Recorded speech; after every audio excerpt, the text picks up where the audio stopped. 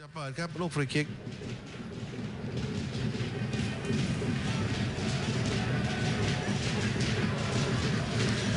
หยอดเข้าไปครับลูกนี้ครับอย่างมงตั้งมาฟรนโดแล้วควิดลูกนี้เรียบร้อยครับโอ้ไล่มาครับ โอ้ยหนึ่งประตูต่อสองเชียงรายทำได้ครับ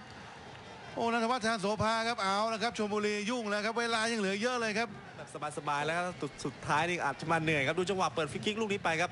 เฟรนโดเปิด